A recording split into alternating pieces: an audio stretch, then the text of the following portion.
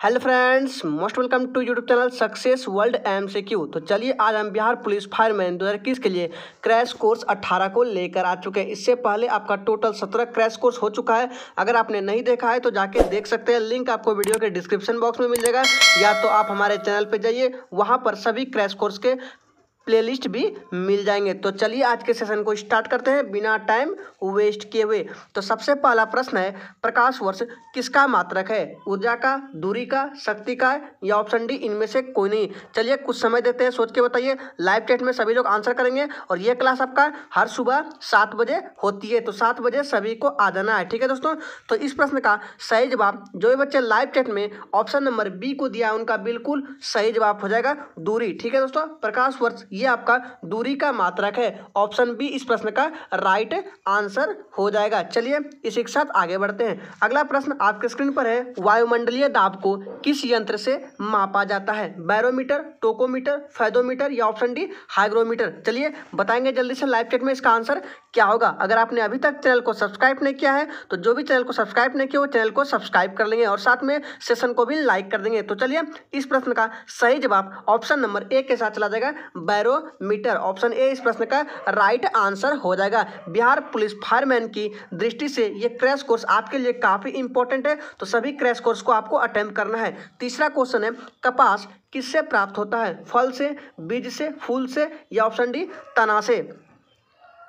तो चलिए तीसरे नंबर प्रश्न का राइट आंसर आपका ऑप्शन बी के साथ चला जाएगा, बीज से। ठीक है दोस्तों, कपास आपका बीज से प्राप्त होता है। चलिए आगे बढ़ते हैं। अगला प्रश्न है, भारत के, क्या बोल रहा है इसमें? भारत के परिदृश्य में सबसे आखिर में उभरने वाला धर्म कौन सा है? बताएँगे इसका राइट आंसर क्या होगा जल्दी से। तो चलिए, चौथे नंबर प्रश्न का राइट आंसर आपका ऑप्शन सी के साथ चला जाएगा। ठीक है दोस्तों, क्या हो जाएगा? सिख इस प्रश्न का राइट आंसर हो जाएगा। चलिए, इसी के साथ आगे बढ़ते हैं। अगला क्वेश्चन आपके स्क्रीन पर है इंसुलिन किसके द्वारा स्रावित होता है? बताएँगे जल्दी से इसका राइट आंसर क्या होगा? अगर आपने अभी तक सेशन को लाइक नहीं किया तो प्लीज़ सभी लोग एक बार सेशन को लाइक कर देंगे। तो चलिए, इस प्रश्न का सही जवाब आपका ऑप्शन ए के साथ चला जाएगा, अग्नाशय। ठीक है दोस्तों इंसुलिन आपका अग्नाशय से श्रावित होता है। ऑप्शन ए इस प्रश्न का राइट राइट आंसर हो जाएगा। चलिए इसी के साथ आगे बढ़ते हैं। अगला प्रश्न है बॉक्साइट किसका अयस्क है? लोहा का यूरेनियम का, तांबा का या ऑप्शन डी एल्यूमिनियम का? तो इस प्रश्न का सही जवाब जो है, आपका ऑप्शन डी के साथ चला जाएगा। एल्यूमिनियम का अयस्क है ठीक है? बॉक्साइड ऑप्शन डी इस प्रश्न का सही जवाब हो जाएगा। चलिए, इसी के साथ आगे बढ़ते हैं। अगला प्रश्न स्क्रीन पर है। गीता रहस्य के लेखक कौन है? अबुल फजल, मैथिली शरण गुप्त बाल गंगाधर तिलक या इनमें से कोई नहीं। अगर आपको किसी भी क्वेश्चन में डाउट होता है तो आप कमेंट बॉक्स में पूछ सकते हैं। तो चलिए, इस प्रश्न का सही जवाब आपका ऑप्शन सी के साथ चला जाएगा। बाल गंगाधर तिलक ऑप्शन सी इस प्रश्न का सही जवाब हो जाएगा। चलिए, आगे बढ़ते हैं। अगला प्रश्न है, त्रिपिटक प्रसिद्ध पुस्तक है। किसका है? यहूदियों का, बौद्धों का, जैनों का या इनमें से कोई नहीं? जल्दी जल्दी से लाइव चेट में सभी लोग आंसर करेंगे। तो चलिए इस प्रश्न का सही जवाब आपका ऑप्शन चला जाएगा बी के साथ बौद्धों का। ठीक है दोस्तों, त्रिपिटक आपका प्रसिद्ध पुस्तक है, बौद्धों का ऑप्शन बी इस प्रश्न का सही जवाब है। चलिए आगे बढ़ते हैं। अगला प्रश्न, भारत का सबसे बड़ा बाघ आरक्षित क्षेत्र कौन सा है? बताएँगे जल्दी से इसका राइट आंसर क्या होगा? तो इस प्रश्न का सही जवाब आपका ऑप्शन ए के साथ चला जाएगा। जिम कॉर्बेट ठीक है? ऑप्शन ए इस प्रश्न का राइट आंसर हो जाएगा। चलिए आगे बढ़ते हैं। अगला प्रश्न है, यूरेनियम उत्पादन में अग्रणी देश कौन सा है? जल्दी से इसका राइट आंसर करेंगे। ये सारे सभी के सभी प्रश्न काफ़ी इंपॉर्टेंट है तो आपको वीडियो को लास्ट तक देखना है। तो इस प्रश्न का सही जवाब आपका ऑप्शन चला जाएगा किसके साथ? ऑप्शन बी के साथ चला जाएगा कनाडा। चलिए, आगे बढ़ते हैं। अगर आपको ये सेशन अच्छा लग रहा है तो सभी लोग एक बार सेशन को लाइक कर देंगे। नेक्स्ट क्वेश्चन है, महावीर को किस जगह निर्वाण प्राप्त हुआ था? कुशीनगर में, सारनाथ में, बोधगया में या डी, पावापुरी में? तो इस प्रश्न का सही जवाब है आपका ऑप्शन चला देगा डी के साथ पावा पूरी। चलिए आगे बढ़ते हैं। अगला प्रश्न है भारतीय रिज़र्व बैंक की स्थापना कब हुई? 1936, 35, 1925 या 1920 में? तो बारहवें नंबर प्रश्न का राइट आंसर है ऑप्शन बी 1935 में। ठीक है दोस्तों एक अप्रैल 1935 इस प्रश्न का राइट आंसर हो जाएगा। ऑप्शन बी करेक्ट आंसर चलिए आगे बढ़ते हैं। अगला प्रश्न आपके स्क्रीन पर है अलीगढ़ आंदोलन के संस्थापक कौन थे? सर सैयद अहमद खां, जवाहरलाल नेहरू, बाल गंगाधर तिलक या मौलाना अबुल कलाम? तो तेरह नंबर प्रश्न का, जो भी बच्चे लाइव टेट में ऑप्शन नंबर ए को दे रहे हैं, उनका सही जवाब हो जाएगा Sir Syed Ahmed Khan. Option A इस प्रश्न का सही जवाब है। चलिए आगे बढ़ते हैं। अगला प्रश्न है, महात्मा गांधी ने भारत में पहली बार सत्याग्रह कहाँ किया था? नालंदा में, चंपारण में, वैशाली में या डी छपरा में? तो इस प्रश्न का सही जवाब है ऑप्शन बी, चंपारण में। चलिए आगे बढ़ते हैं। अगला प्रश्न है इंद्रधनुष में सबसे ऊपरी भाग में कौन सा रंग होता है? चलिए जल्दी से लाइव चेट में आंसर करेंगे। एग्ज़ाम देने से पूर्व आपको सभी क्रैश कोर्स को अटेम्प कर लेना है, क्योंकि सब सभी सभी क्रैश कोर्स इंपॉर्टेंट है आपके एग्ज़ाम की दृष्टि से। तो चलिए, इस प्रश्न का सही जवाब आपका ऑप्शन डी के साथ चला जाएगा लाल। ठीक है दोस्तों इंद्रधनुष में सबसे ऊपरी भाग में लाल रंग होता है, ऑप्शन डी इस प्रश्न का सही जवाब हो जाएगा। चलिए, आगे बढ़ते हैं। अगला प्रश्न है स्टेचू ऑफ़ लिबर्टी किस देश में है? बताएँगे जल्दी से इसका राइट आंसर क्या होगा? तो इस प्रश्न का सही जवाब है ऑप्शन ए, अमेरिका में। चलिए आगे बढ़ते हैं। अगला प्रश्न स्क्रीन पर है। रामकृष्ण मिशन की स्थापना किसने की? स्वामी दयानंद, स्वामी नित्यानंद, स्वामी विवेकानंद या ऑप्शन डी, इनमें से कोई नहीं? तो सत्रह नंबर प्रश्न का, जो बच्चे लाइव चैट में ऑप्शन नंबर किसको दे रहे हैं? ऑप्शन नंबर किसको दे रहे हैं? स्वामी विवेकानंद को। उसका राइट आंसर हो जाएगा, ठीक है? रामकृष्ण मिशन की स्थापना स्वामी विवेकानंद ने की थी। और कब की थी? डेट बता देते हैं। तो डेट है आपका अठारह सौ संतानवे ईस्वी में। इस डेट को याद रखिएगा। ये डेट काफ़ी इंपॉर्टेंट है। चलिए, इसी के साथ आगे बढ़ते हैं। अगला प्रश्न स्क्रीन पर है। भारत और पाकिस्तान के बीच सीमा रेखा का निर्धारण कौन सी सीमा रेखा करती है? बताएँगे जल्दी से इसका राइट आंसर क्या होगा?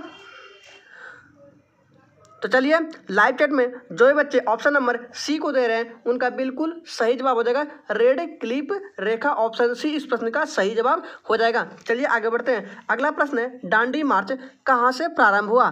चंपारण से, छपरा से, सिवान से या साबरमती से? तो सही जवाब है ऑप्शन डी साबरमती से। चलिए, इसी के साथ आगे बढ़ते हैं। अगला प्रश्न है, सोना का रासायनिक संकेत क्या होता है? C U A U P B या ऑप्शन डी ए जी तो चलिए बीस नंबर प्रश्न का राइट आंसर आपका ऑप्शन बी के साथ चला जाएगा। ए यू ठीक है दोस्तों? सोना का रासायनिक संकेत आपका ए यू होता है। ऑप्शन बी इस प्रश्न का राइट आंसर हो जाएगा। चलिए इसी के साथ आगे बढ़ते हैं। अगला प्रश्न स्क्रीन पर है। सैन्य शासन का व्यवहार प्रथम बार भारत में किसने किया था? बताएँगे जल्दी से इसका राइट आंसर क्या होगा? सोच समझ के राइट आंसर कीजिएगा दोस्तों। सारे के सारे प्रश्न इंपॉर्टेंट है। तो चलिए इस प्रश्न का सही जवाब आपका ऑप्शन चला जाएगा ए के साथ मराठों ने। चलिए आगे बढ़ते हैं। आगे बढ़ने से पहले अगर आपने अभी तक चैनल को सब्सक्राइब नहीं किया है तो एक बार प्लीज़ चैनल को भी सब्सक्राइब करके साथ में बेल आइकन को भी प्रेस कर देंगे, ताकि आने वाले समय में क्रैश कोर्स आपसे मिस ना हो। नेक्स्ट क्वेश्चन है, कनिष्क का संबंध किस राजवंश से था? चलिए जल्दी जल्दी से लाइव चैट में सभी लोग आंसर करेंगे। तो इसका सही जवाब है ऑप्शन ए क्या सॉरी ऑप्शन ए नहीं। इस प्रश्न का राइट आंसर ऑप्शन बी हो जाएगा कुशान से, ठीक है? कनिष्क का संबंध कुशान वंश से था। ऑप्शन बी इस प्रश्न का सही जवाब हो जाएगा। चलिए आगे बढ़ते अगला प्रश्न स्क्रीन पर है। शेरशाह का मकबरा कहाँ स्थित है? बताएँगे जल्दी से इसका राइट आंसर क्या होगा? तो आइए तेईस नंबर प्रश्न का राइट आंसर आपका ऑप्शन सी के साथ चला देगा सासाराम में। ठीक है दोस्तों? सिरसा का मकबरा आपका सासाराम में स्थित है। ऑप्शन सी इस प्रश्न का राइट आंसर हो जाएगा। चलिए आगे देखते हैं। अगला प्रश्न है, चरक किसके प्रसिद्ध दरबारी वैद्य थे? तो आइए, इस प्रश्न का जो सही जवाब है, आपका ऑप्शन चला जाएगा किसके साथ? ऑप्शन सी के साथ चला जाएगा कनिष्क। ठीक है दोस्तों, चरक कनिष्क के प्रसिद्ध दरबारी वैद्य थे ऑप्शन सी इस प्रश्न का राइट आंसर हो जाएगा। चलिए आगे देखते हैं। अगला प्रश्न है, वंदे मातरम को किसने लिखा है? जल्दी से बताएँगे इसका राइट आंसर क्या होगा? तो चलिए, वंदे मातरम को ऑप्शन डी हो जाएगा। बंकिम चंद्र चटर्जी ने लिखा है। ऑप्शन डी इस प्रश्न का सही जवाब हो जाएगा। चलिए, इसी के साथ आगे बढ़ते हैं। अगला प्रश्न है दादा साहेब फाल्के पुरस्कार किस क्षेत्र में दिया जाता है? फ़िल्म, खेल, संगीत, या ऑप्शन डी पत्रकारिता। तो इस प्रश्न का जो सही जवाब है, आपका ऑप्शन चला जाएगा। ए के साथ फ़िल्म के क्षेत्र में दिया जाता है। ठीक है दोस्तों? दादा साहेब फाल्के पुरस्कार आपका फ़िल्म के क्षेत्र में दिया जाता है। ऑप्शन ए इस प्रश्न का राइट आंसर हो जाएगा। चलिए इसी के साथ आगे बढ़ते हैं। अगला प्रश्न है, रामकृष्ण मिशन की स्थापना किस वर्ष हुई? बताएँगे जल्दी से इसका राइट आंसर क्या होगा? तो चलिए, इस प्रश्न का जो सही जवाब है, आपका ऑप्शन डी के साथ चला जाएगा अठारह ईस्वी में। आगे बढ़ते हैं। अगला प्रश्न है, संपत्ति को अधिकारों की सूची से किस संविधान संशोधन द्वारा हटाया गया बताएँगे। ये अट्ठाईस नंबर प्रश्न आपके लिए काफ़ी इंपॉर्टेंट है। तो चलिए, देखते हैं कितने बच्चे इसका सही जवाब करते हैं। तो आइए, इस प्रश्न का सही जवाब ऑप्शन ए के साथ चला जाएगा। चौवालीसवां संविधान संशोधन द्वारा क्या किया गया? संपत्ति को अधिकारों की सूची से हटा दिया गया। ऑप्शन ए, इस प्रश्न का राइट आंसर हो जाएगा। चलिए आगे देखते हैं। अगला प्रश्न है, श्रीनगर किस नदी के तट पर स्थित है? तो इस प्रश्न का जो सही जवाब है, आपका ऑप्शन बी हो जाएगा, झेलम नदी के तट पर आपका श्रीनगर स्थित है। चलिए आगे बढ़ते हैं। नेक्स्ट क्वेश्चन है, वायुमंडल की सबसे निचली परत क्या कहलाती है? बताएँगे जल्दी से इसका राइट आंसर क्या होगा? तो इस प्रश्न का सही जवाब आपका ऑप्शन सी हो जाएगा क्षोभ मंडल, ठीक है? वायुमंडल की सबसे निचली परत को क्षोभ मंडल कहते हैं। ऑप्शन सी, इस प्रश्न का राइट आंसर हो जाएगा। तो आज के सेशन में टोटल तीस प्रश्न थे, उम्मीद करेंगे सारे के सारे प्रश्न आपको इंपॉर्टेंट लगेंगे अगर आपको ये सेशन अच्छा लगा तो सभी लोग सेशन को लाइक करके चैनल को भी सब्सक्राइब कर देंगे। तो चलिए, कल फिर मिलते हैं नेक्स्ट क्रैश कोर्स के साथ।